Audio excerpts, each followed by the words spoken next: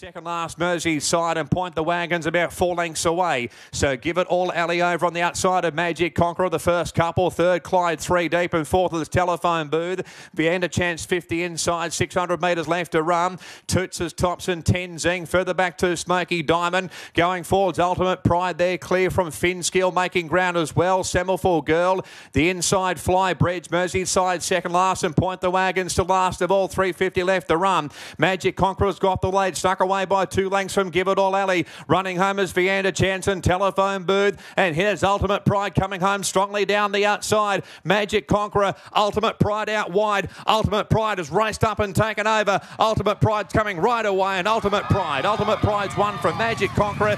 Third Finskill and four Tenzing, followed by telephone booth, Vianda Chance.